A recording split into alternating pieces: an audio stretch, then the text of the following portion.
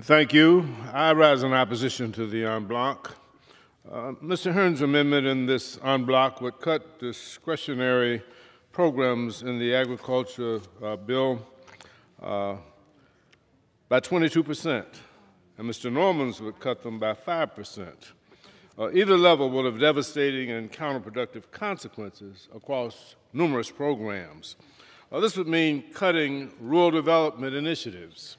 The 22% cut would reduce much needed investments in rural broadband, electricity, water and waste systems, and housing at a time when we really, really want to lift our rural communities.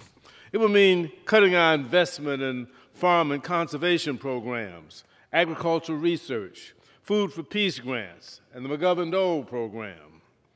The Food and Drug Administration budget would be cut by over $800 million under Mr. Hern's proposal, lessening our ability to address the opioid crisis, medical supply chain issues, infant formula, and food safety.